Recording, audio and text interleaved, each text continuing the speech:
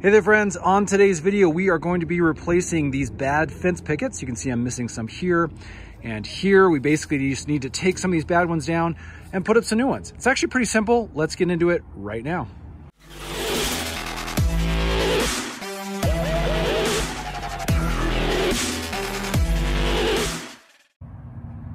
Okay, here are a couple tools that are gonna make our life easier with this project. First, we have a Ryobi drill. This is actually an impact driver. It just has a little bit more horsepower. I really like using this, but you can also use a screwdriver if you are down to uh, really just bare bones. I also have a chop saw. This is a DeWalt chop saw. Again, you can use any kind of saw, and that's simply to get the right length on our picket. So obviously that's the last thing we need is our new picket in order to put up. The other thing you obviously are going to need are some new screws potentially. These are actually older ones that I already took out. And so if they're in decent shape, you can potentially reuse them. Okay, so this is the bad picket right down here that we're obviously going to be taking out. And you can see this picket is actually attached to the back of the fence with some two by fours and two screws that punch in here. And then it was down at the bottom, the exact same thing down here on this 2x4 that goes across the back. You can see how it's kind of mirrored on these other pickets. So this is where the fence broke off, but I am gonna have to unscrew this little guy down here in order to get both sides off. So again, you can use a screwdriver if you wanna do this by hand. Much, much easier if you can come in here with your driver, make sure it's in reverse position, and then just pull out those screws. Again, you can save these if you want, the screws and those can be reused if they are in good shape. Let me get this one down here at the, uh, the bottom. Okay, obviously once the screws are taken out, we can just remove this entire picket here. See that it broke in two places. I'm just gonna put this down over on the side yard right here. And uh, basically we can take off this little guy as well. Okay, so as you can see, that is now ready for that brand new picket.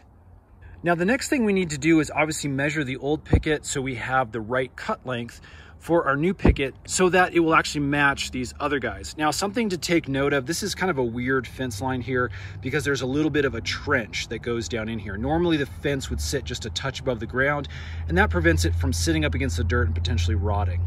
In this case, again, we're just gonna mirror the other ones just to make the video easy. Okay, our next job is to actually cut this new picket here to length.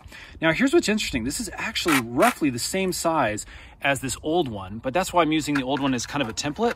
So what I usually do is just stick it right on top of there, kind of line up the tops here and then we can look and go down to the bottom and we can figure out where our cut length is going to be. Now, again, if this had been shorter, like maybe over in this general area, we know we can draw a line right here, and that's where we'd use our chop saw to chop this uh, down and get it to the right length.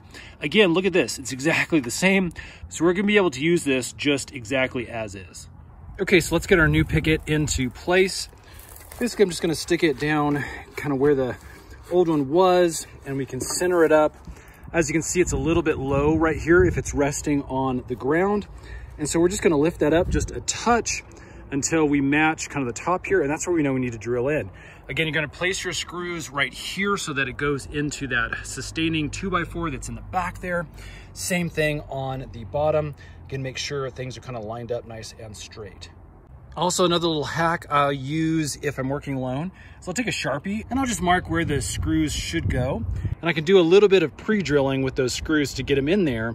And that way it's a little bit easier if you're holding this again off the ground without anybody else's help. Okay, we've already drilled one of the screws in. What's nice about getting one in is everything else is usually supported, making it a little bit easier to screw the others in. So let's go ahead and just punch this guy in. Again, I'm using these old screws because they still have some life left.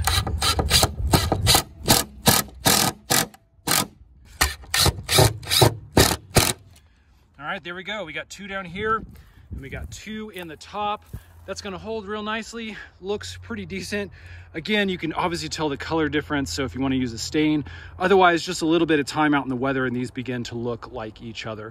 All right, friends, I'm gonna go ahead and get the rest of these pickets uh, shaped up and replaced. I hope this has helped. If it has, would you guys please hit that thumbs up button for us? Let us know we're making good videos. Stay tuned. We're doing a whole bunch more DIY, fix it, review type videos. Those are coming up really soon. Thanks for watching.